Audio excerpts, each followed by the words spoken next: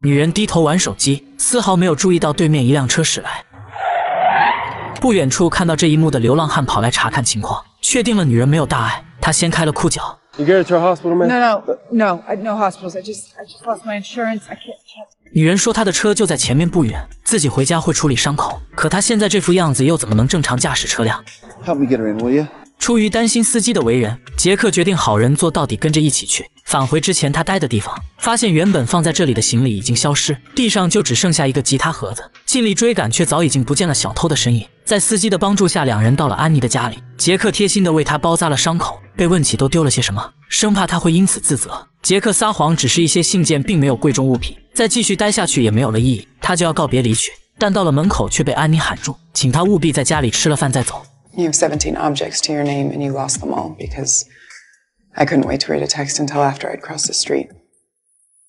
I might actually have to do that. Roast chicken? 仿佛做了一番激烈的心理斗争，杰克最终还是答应了。他用手机向同事流浪汉的好友打去电话报平安。安妮很好奇，这么善良的一个人，为何会沦落为路边的流浪汉？其实杰克的家境并不是很差，只是为了自己的音乐梦想，他选择了流浪，准备用五年的时间体验这大千世界的人情冷暖，希望能受到启发，创造出一首独一无二的歌曲。机缘巧合之下，他在漂泊的第三个年头来了安妮所生活的地方。望着房间内做饭的人，让一直以来习惯了一个人流浪的他，有了一种叫做归属感的感觉。挂断电话后，借用了洗手间洗了澡。晚上回来的母亲得知自己家来了一位流浪汉，保持了高度的警惕。So, have you ever worked? Oh, yes, ma'am. Since I was 14. 说了自己大体的工作历程，小女孩第一次听人说起外面的世界，心中满是向往。一大一小开始了交流。安妮看着这温馨的一幕，脸上也不由得浮现出笑容。但这种氛围很快就被母亲打断。When are you planning on leaving? 看到安妮的眼神，I'm asking how long a person stays when they're not so used to staying. Leaving after dinner. 用餐结束，母亲恨不得杰克立刻离开，简单的装了些水和速食品，No, honestly. Sorry. I'll tell you say goodbye. 接着还不忘让杰克带着垃圾一起走。面对这几乎侮辱的行为，吃人嘴软的杰克并没有生出半点不快。刚到了门口，他就遇到了安妮。Hey, don't leave. I uh, found some stuff. 夜幕降临，独自等待的杰克在门口弹起了吉他，哄着女儿睡觉的安妮被音乐感染，不禁泪水打湿了眼眶。原来她的生活并不如意，与丈夫离婚已经一年之久，可最近她忽然打来电话索要女儿的抚养权。对于一个母亲来说，这无疑是最不能妥协的事情。来了门口，他拿出了准备好的一个指南针项链，寓意他能在杰克流浪的路上为他指引方向。接着就是一些户外生活用品，感激之情无以言表。看安妮没有立马回去的意思。他就分享起小时候悲惨的成长经历，母亲因病离世，父亲因此一蹶不振，走廊间到处都充斥着悲伤的氛围。杰克不由得又开始弹奏手中的吉他，安妮侧过脸去认真欣赏。不久后，仿佛是上天有意留住杰克，天空竟飘下了雪花。There's a fold out cot. Back, in the studio, some blankets next to it. 说完回了屋内，杰克只好暂时住下。第二天一大早，他就已经收拾东西准备离去。找安妮道别的路上，发现走廊的顶部漏水，来仓库搬了梯子，找到了那块已经被岁月腐朽的木板。而此时正好安妮去送女儿上学，杰克告知了他这一情况。Sometimes. Hey, your mom doesn't get this fixed. This whole left side of the porch is gonna come down first really heavy snow. Yeah, that's what the other guy told her. 他也想消除这个安全隐患，但家里的钱实在不够维修费用。Probably get you patched up. Take an afternoon, couple hundred for supplies. You guys do that?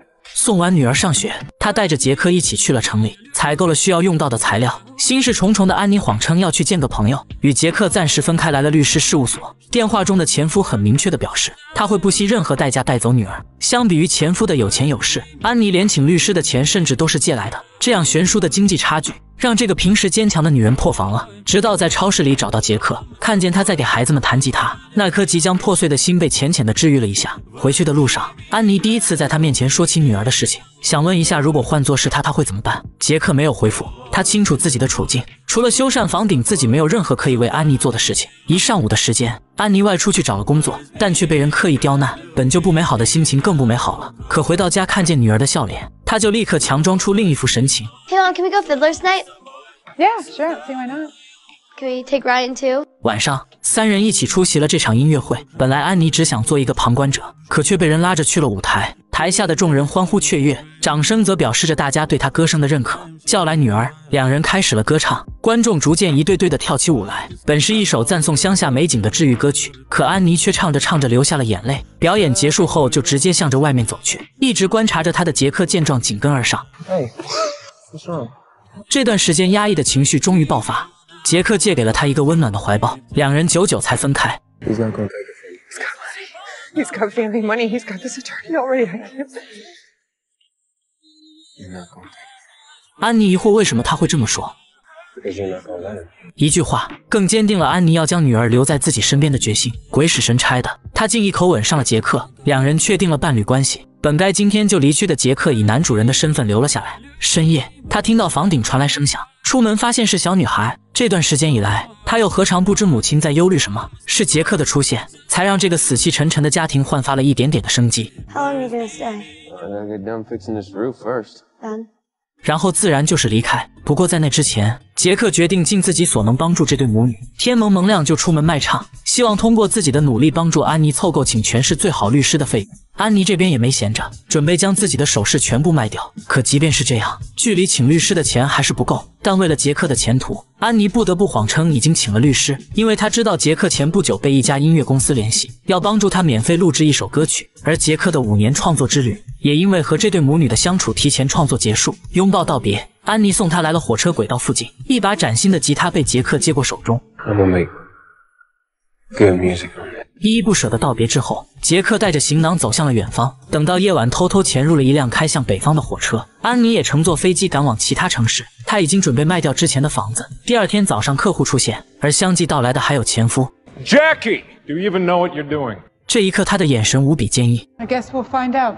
即便是相隔千里，杰克还是会与安妮通过短信的方式联系，互说着彼此事情的进度，安慰的同时给予鼓励。饿了就找一家超市简单对付，累了随便在一处挡风的地方休息。就这样，在他不懈的赶路下，终于找到了那位要帮助他录歌的好心人。一周时间，杰克完成了歌曲的制作，马不停蹄的就要往回赶。有目的的赶路从来都不孤单。想想路尽头的人，他尽是激动。不久后，他到达了那座曾收留过他的小屋。女儿的去留尚未可知，但我坚信母爱的伟大不会让安妮妥协。一个四处流浪的歌手，一个家徒四壁的单亲家庭，互相帮助的同时也治愈着彼此。杰克之所以能提前完成创作，又何尝不是因为有了归属呢？他追求的从来都不是自由，而是那份内心从小就缺失的东西，那个东西叫做家。